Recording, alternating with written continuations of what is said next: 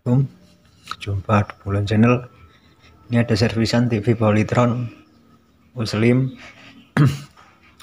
Untuk kendalanya Layar gelap. Ya mungkin bisa jadi Tegangan header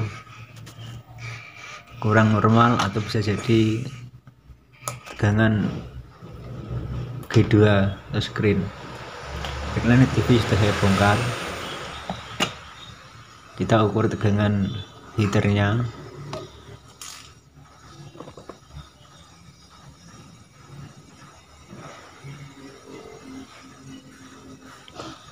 Untuk normal tegangan heater yaitu 5 sampai 6 volt.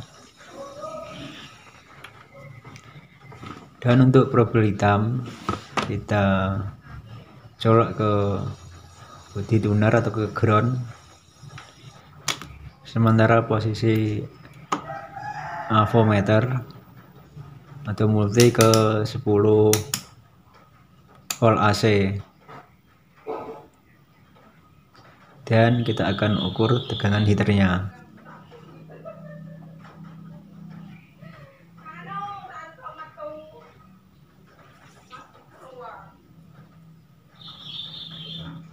Tegangan heater di bawah 3 eh, volt.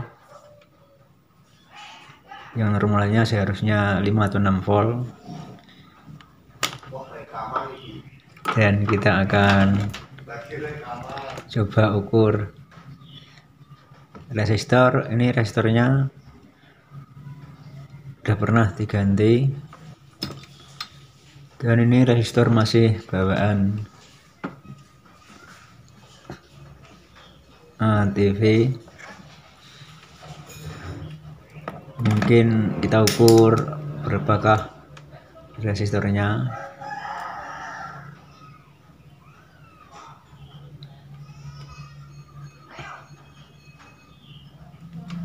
Nah, maaf kita kalibrasi dulu untuk jarumnya ke nol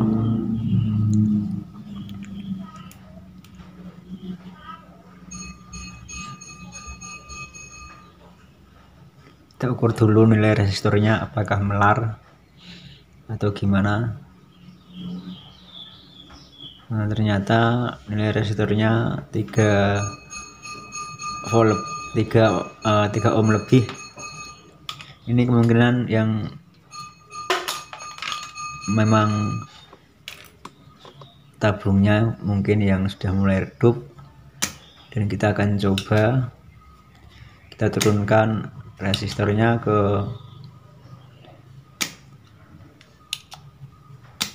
pakai resistor 1 ohm.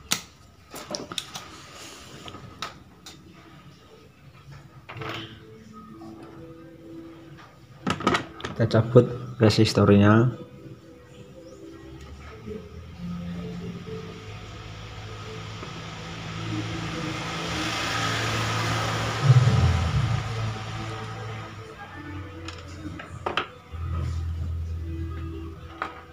itu pakai resistor. Cabutan dari mesin polytron. Kalau yang ini pakai 1 ohm resistornya. Untuk jalur yang ke header kita lepas pakai yang 1 ohm kita turunin resistornya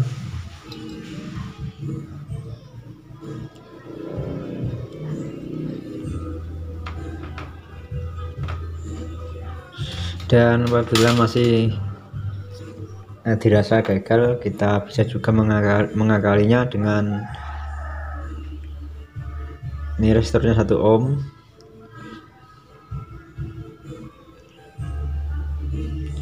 Dan apabila kita turunin kita kasih satu ohm masih gambar gelap maka kita nanti akan melilit menambah tegangan heater dengan cara melilit ke body flipback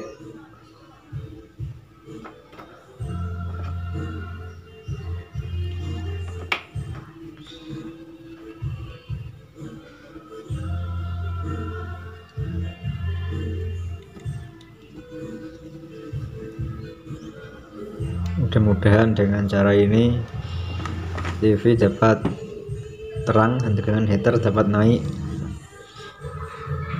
Yang tadi tegangan heaternya tadi sekitar 3 volt dan mungkin ini mudah-mudahan bisa naik menjadi 5 volt. Dan kita solder resistornya